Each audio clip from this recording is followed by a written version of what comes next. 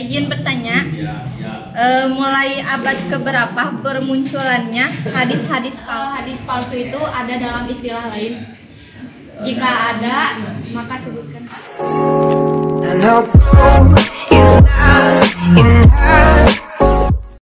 Rasulullah sampai sebelum pembukuan ulumul al hadis istilah ulumul al hadis jelas belum ada melihat sosok baginda agung melihat kepada Kang Tatang kalau menurut saya kayak gini tadi Kang Tatang menyampaikan sama saya Kang Asep besok kita kuliah lagi ya jam 8 itu secara ucapan karena ada hadis anu anu anu berarti turunnya ayat tersebut sudah ada.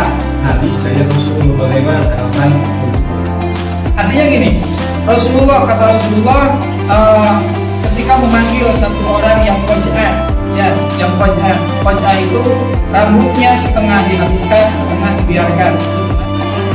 Nah, bukan beda lagi seperti doi doi itu ada yang ketika lebih aman ibadah ada yang disebut dengan uh, kojah, kojah itu eh, yang diharapkan oleh Rasulullah, ya, Rasulullah. Nah, kembali ke eh, yang tadi, yang pertama, karena memang masih terbatasnya eh, kalau Tuhan kan wahyu kan? Nah di situ. Apa yang mau dibahas? Untuk sana kan yang, yang intinya kan kita bikin makalah ini supaya kita mendapatkan ilmu dari ini. Gitu kan? Habis kan?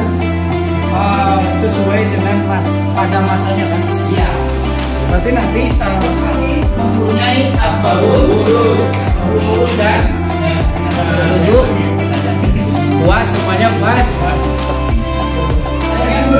Gak ada di makalah ini Jadi di makalah ini mah banyak membahas bagaimana sejarah perkembangan Tadi siapa?